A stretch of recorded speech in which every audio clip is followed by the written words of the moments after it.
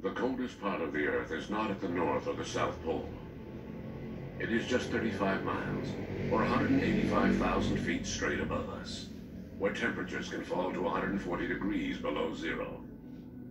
A thin band of air called the ozone layer has been the only thing protecting the people of the Earth. Until now.